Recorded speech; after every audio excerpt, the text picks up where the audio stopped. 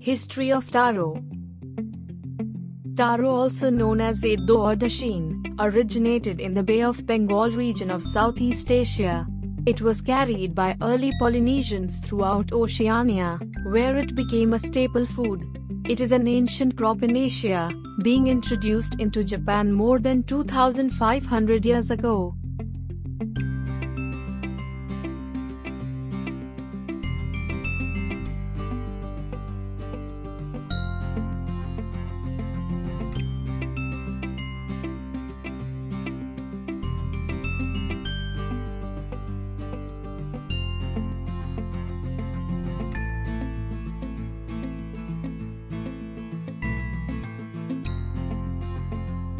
Add coriander leaves in 300 gram flour, 1 teaspoon ginger paste, 1 teaspoon garlic paste, 2 tablespoons Sibu vegetable pakoda masala, salt to taste, water as per need, a pinch of baking soda, water as required. Mix it well, make a thin paste, put gram flour paste in the arbi patte.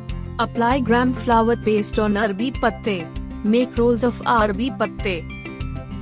Put water in the pan. Keep arbi patte in water steam.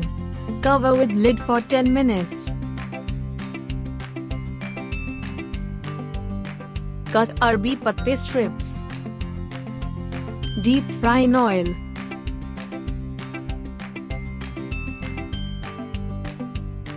Sprinkle Sibu chaat masala.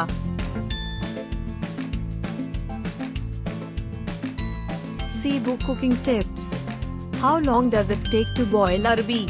Pressure cook arbi for 2 to 3 whistles or for 8 to 10 minutes on a medium flame.